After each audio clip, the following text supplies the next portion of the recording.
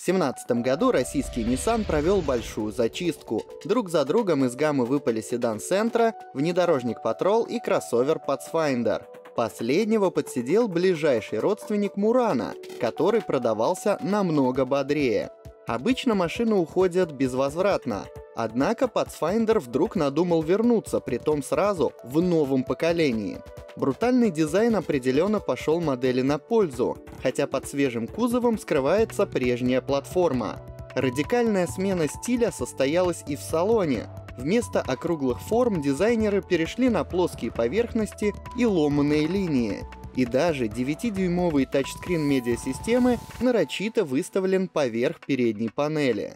Отдельный пункт пресс-релиза посвящен шумоизоляции, так как новый Pathfinder на 60% тише предыдущего. Кроме того, создатели семейного кроссовера гордятся дорогими материалами отделки и обилием современной электроники. Бензиновый V6 прежний, но место вариатора занял классический 9-ступенчатый автомат. У нас эта рокировка точно заслужит одобрения а система полного привода, построенная вокруг муфты, обзавелась новыми внедорожными режимами.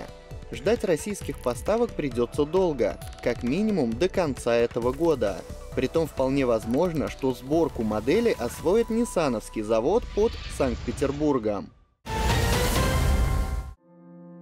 Чтобы не вставать дважды, в рамках одного мероприятия Nissan провел презентацию двух моделей. Здесь важно сделать ремарку. Долгое время американцам под именем Frontier скармливали прошлое поколение Навары. Но теперь концепция поменялась. Фронтиром назван абсолютно оригинальный пикап.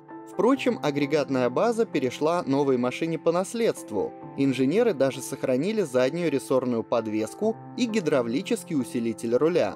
Из действительно нового подметим лишь гидравлические опоры кабины, что сделали пикап менее тряским. Связку из бензиновой шестерки и девятиступенчатого автомата успел примерить еще предшественник.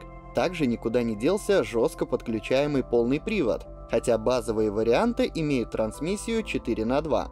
Очевидно, что свежий Frontier не будет поставляться на другие рынки, кроме американского.